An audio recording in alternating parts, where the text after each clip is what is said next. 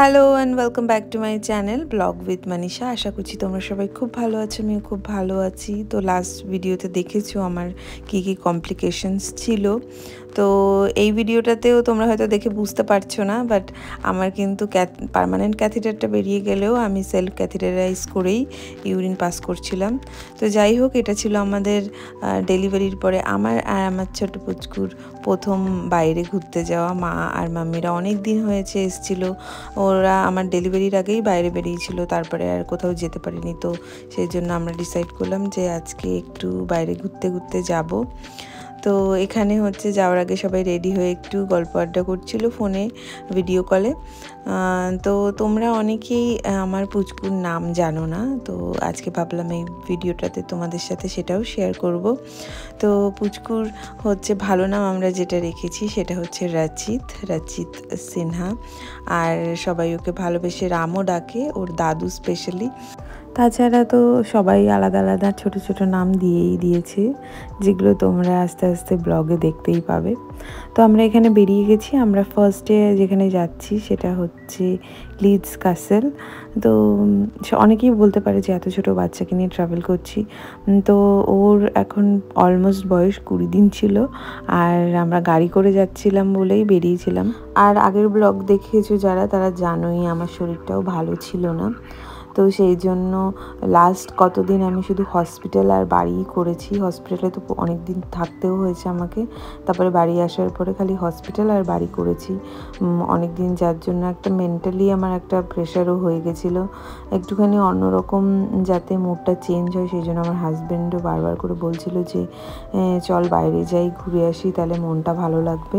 আর মা আর মাম্মি তো ছিলই। রিজন আর একটা যেহেতু ওরা আমার ডেলিভারির আগেই ঘুরতে বেরিয়েছি আমরা সবাই মিলে।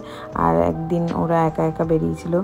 তো তাছাড়া সেরকমভাবে ঘুরতে বেরোনো হয়নি। তো সেটাও একটা মোটিভেশন ছিল যে ওরা এত দূর থেকে এসছে, একটু যদি না ঘুরতে পারে তাহলে ভালো লাগবে না। আর আমার মাও কিছুদিন পরে চলে যাবে। তো সেগুলো সব কিছু মিলিয়ে ভেবেই কিন্তু আজকের বেরোনোটা।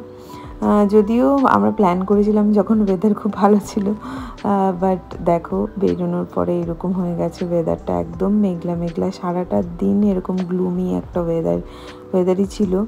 আর আমাদেরও অনেক জায়গাতে যাওয়ার কথা ছিল, অনেক বলতে দু তিনটে জায়গায় যাওয়ার কথা ছিল আশেপাশেই যেখানে আমরা গেছি লিডসের তার আশেপাশেই।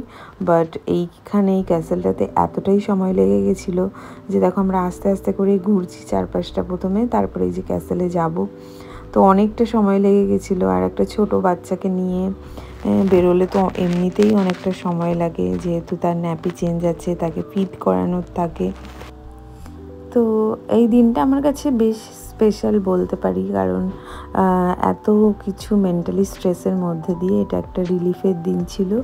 আর তাছাড়াও আমাদের পুচুকে নিয়ে প্রথম আউটিং তো আমার কাছে স্পেশাল এমনিতেই এই দিনটা। তো আমরা সারাদিন এরকমভাবেই ঘুরে নিয়েছি। আর যেহেতু দে বললাম তোমাদের গ্লুমি ওয়েদার ছিল, তো বেশ ঠান্ডা ছিল। তো আমাদের মাথায় একটুখানি টেনশনও হচ্ছিল যে পুচকুচ যদি ঠান্ডা লেগে যায় তো কি হবে?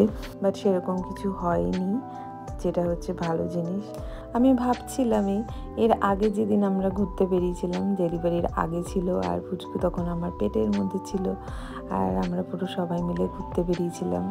আর এই এখন যখন ঘুরতে বেরিয়েছি এখনও বাইরে ওকে নিয়ে বেরিয়েছি। তো দুটোর মধ্যে কত ড্রাস্টিক চেঞ্জ আছে।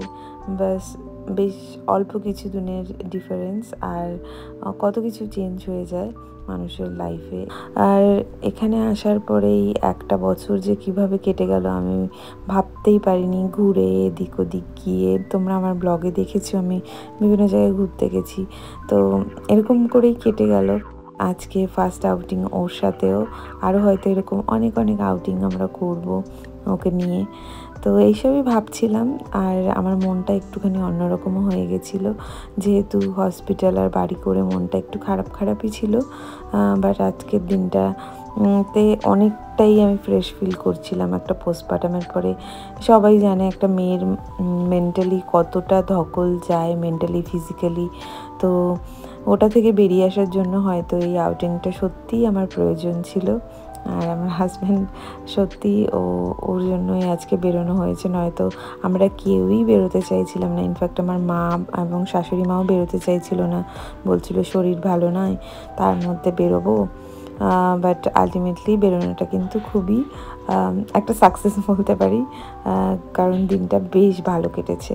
তো আমরা এখান থেকে সোজা চলে যাচ্ছি, এই যে দেখো ডোবার বিচ ডোবার বিচে এই যে এই জায়গাটা এতটাই সুন্দর যদিও বীজটা সেরকমভাবে স্যান্ড নেই, শুধুমাত্র পাথর, পাথরে টাইপের বীজটা আমি অন্য একটা বিচে যেতে চেয়েছিলাম টু বি অনেস্ট বাট এই বীজটা কাছে ছিল, আর আমাদের হাতে অতটা টাইমও ছিল না, আমরা খাওয়া দাওয়াও করিনি, তখনও অনেকটাই লেট হয়ে গেছিল লিট কাসেলে, তো সেই জন্য এখানেই আসলাম।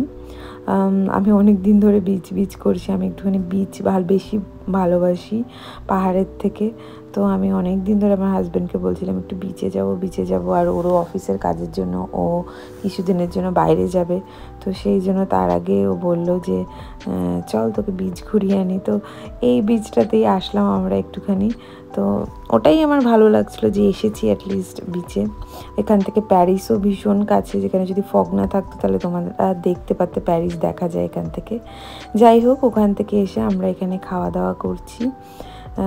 নন্ডোজে বসে খাওয়া দাওয়া করলাম। ওই যে মা ওর সাথে একটু কথা বলতে বলছে। এই করতে করতেই আমাদের কিন্তু সারা দিন কেটে গেছিল। আর এই টাইমে প্রায় সন্ধে, রাত হয়ে এসেছিল। তো এখান থেকে আমরা সাড়ে সাতটা, আটটার সময় বেরিয়ে যাই। তো এরমভাবেই আজকের দিনটা কেটে গেল। ভিডিওটা ভালো লাগলে কিন্তু অবশ্যই করে লাইক কমেন্ট আর সাবস্ক্রাইব করতে ভুলবে না। দেখা হবে নেক্সট ভিডিওতে tata bye and take care